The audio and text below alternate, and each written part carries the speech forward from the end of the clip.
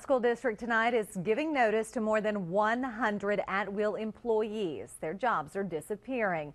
It's part of what the new leaders in the district say is necessary to cut the budget and erase a possible multi-million dollar deficit.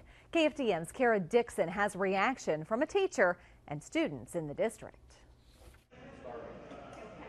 It's another fundraiser to help BISD employees with school supplies. But news there are fewer workers who need those supplies is disappointing to students here. It's going to be a totally different ball game compared to previous school years. The district sent notices Thursday to 110 at-will employees. They're more behind the scenes work. Working at jobs like teachers' aides, secretaries, janitors. At-will employ employees in Texas have very few rights. Greg Sholl is president of the Beaumont Teachers Association. He says workers who receive layoff notices should reapply for open positions. They're working in schools because they like working in schools. They like working with the kids.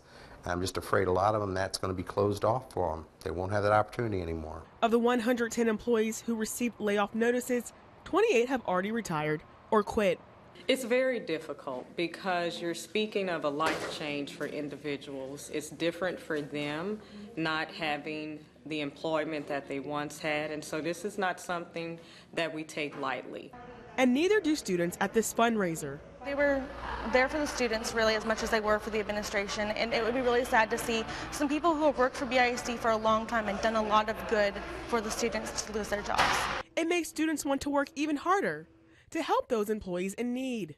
It's still hard knowing that, but you know, we're doing everything that we can.